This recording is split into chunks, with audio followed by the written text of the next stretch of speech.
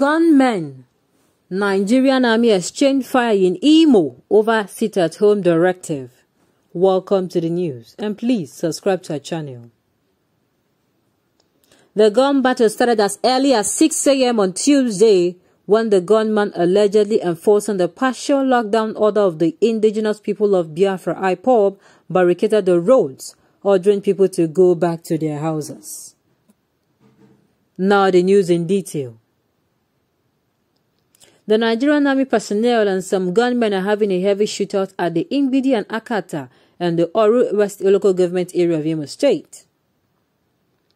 The Sun reports that a source from the area explained that the gun battle started as early as 6 a.m. on Tuesday when the gunmen allegedly forcing the partial lockdown order of the indigenous people of Biafra IPOB barricaded the roads, ordering people to go back to their houses. However, the source said that they were later confronted by the military, who responded swiftly to counter their order. As at the time of this report, it is not clear if there were any casualty on both sides.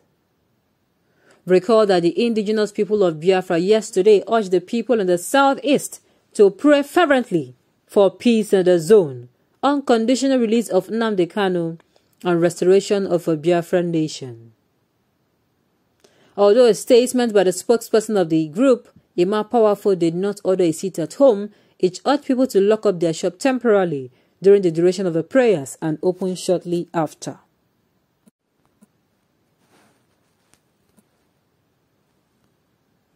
Still trying to find out how, you know, this is a threat to them.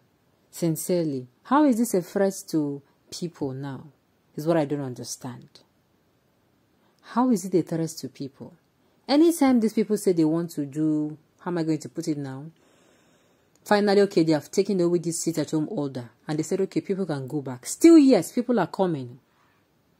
And IPOB, the indigenous people of Biafra, have always come out to say they have said that enough is enough for people who are enforcing sit at home.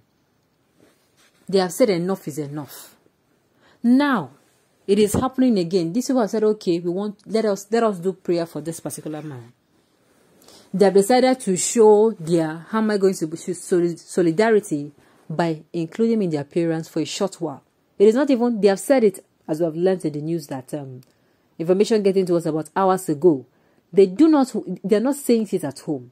They are saying for a short while prayer will go on and at the end of free prayers you can go to your shop. Now I am still asking why is it that we always hear when these things happen that people come out and people are win I mean injured and the Nigerian I mean uh, uh, the Nigerian army yes the troops that was sent there will always come out at this particular day to terrorize people.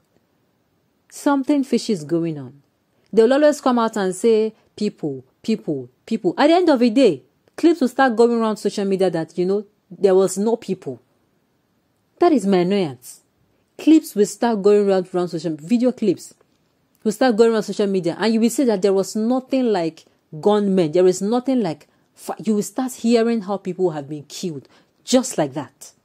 Information getting to us this morning was how a 20 year old girl and her brother were shot. She died on the spot while the brother is still receiving treatment in the hospital.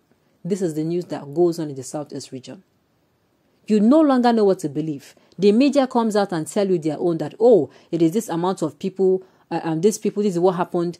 They came, the, the indigenous people of Biafra come out and tell you, oh, that this thing is not our doing. No, we cannot, we are not a violent people. Sincerely, what is going on? Let there be peace in the southeastern region, for crying out loud. Let there be peace. I mean, why, how long will these people continue to suffer?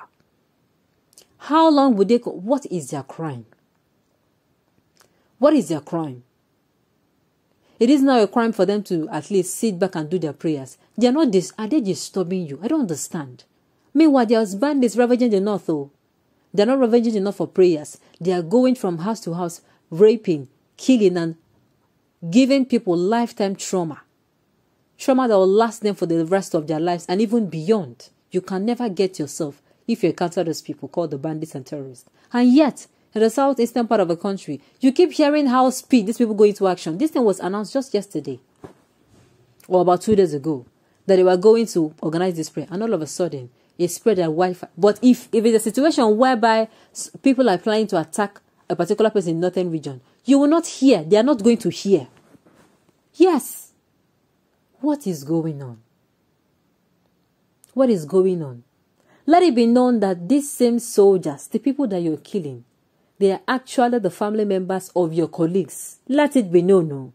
If you are in the military and you are in the place that is called the Southeast region, let it be known that those your colleagues that we are signed into or you entered into um, the Nigerian army with, these people are they are slaughtering. you are slaughtering the, your their, their their people, their family members now. Take it or leave it. Sincerely, I don't I can't I can't seem to understand why it is continuing to be like this. First of all, trips are sent down there, and you know, before you know it, things started getting worse. If it were to be me, me that I send the trips, I will call them. Why is it that this region, except the agenda is, is, is a hidden agenda? You call them and ask them, why is it that the peace that is supposed to have been restored to this region is not still, is not still, we are not seeing it? Why is it? Then you, you, you, you they strategize and, you know, get things done in another way. But no, we keep hearing how, you know, we hear that gunmen attack the people. I mean, gunmen attack the, the, the police. We keep hearing that on a, on a daily basis. And yet, there's no proof. There is no video proof or picture proof of these things. All you see is the destruction that the army has done. Last week, it was reported in our mama that uh, they killed one one police of I mean one army officer, and before you know, the military went and was burning houses. Do you know till date the police, the army officer who was killed, or the army personnel, the picture has not been sent, the videos has not been sent, nothing, nothing, nothing. Do you know that? What is clearly being seen are people houses being raised. What is going on? What is going on? In everything that is wrong with Nigeria. It is right now and right now that these people say, oh, uh, um, how am I going to put it now? You are coming up with this kind of thing at this time. You are right. You are sleeping on the bicycle. Because I don't just understand. I don't understand one bit.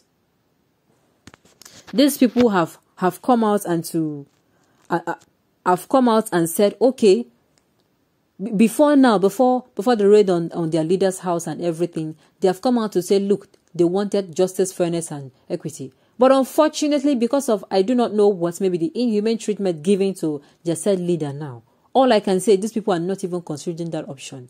The, it is like the more the government lays pressure on them, the worse they become, and they do not even want to listen to the government. On this note, we have come to the end of the news. We say thank you for tuning in to listen.